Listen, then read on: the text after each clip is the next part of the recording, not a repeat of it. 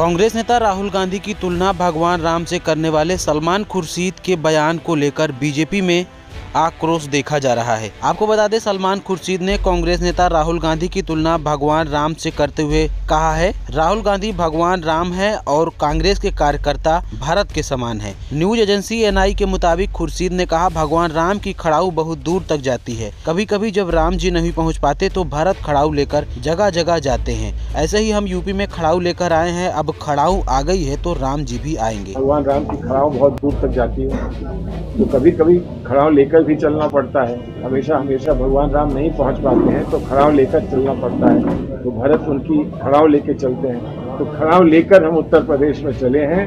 उत्तर प्रदेश में खड़ाव पहुँच गई है तो राम जी भी पहुँचेंगे, ये हमारा विश्वास खुर्शीद ने आगे कहा, राहुल गांधी एक योगी की तपस्या की तरह अपने मिशन पर फोकस कर रहे हैं। राहुल गांधी एक सुपर ह्यूमन है, जबकि हम ठंड में ठिठुर रहे हैं और जैकेट पहने हुए हैं। वह अपनी भारत यात्रा के लिए हाफ़ टी शर्ट में बाहर आए हैं। वह एक योगी की तरह है, जो अपनी तपस्या पूरे ध्यान से कर रहे हैं। सलमान खुर्शीद के इस बयान को लेकर भाजपाइयों ने कड़ा ऐतराज जताया है। भारतीय जनता पार्टी के प्रवक्ता शहजाद पूनावाला ने खुर्शीद की टिप्पणी को हिंदू आस्था का अपमान बताया है। शहजाद ने अपने ट्विटर पर ट्वीट करते हुए लिखा, सलमान खुर्शीद ने राहुल की तुलना भगवान राम से की और खुद की तुलना भरत से। ये चौका देने वाला है, क्या वह किसी की तुलना दूसरे धर्मों के भगवान से करने की ज़रूरत करेंगे? शहजाद ने कहा, राम जी के अस्तित्व को नकार कर राम मंदिर के काम में रुकावट डालने वाले अब हिंदू आस्था का अपमान कर रहे हैं। क्या जनेऊधारी राहुल इससे सहमत है? बता दें की सलमान खुर्शीद बीते सोमवार को यूपी के अमरोहा में कांग्रेस की भारत जोड़ो यात्रा को लेकर मीडिया से बात कर रहे थे। उन्होंने कहा कि हमारी भारत जोड़ो यात्रा तीन जनवरी को यूपी के गाजियाबाद से शुरू होगी। फ़िलहाल यह यात्रा नौ दिन के ब्रेक पर जा रही है।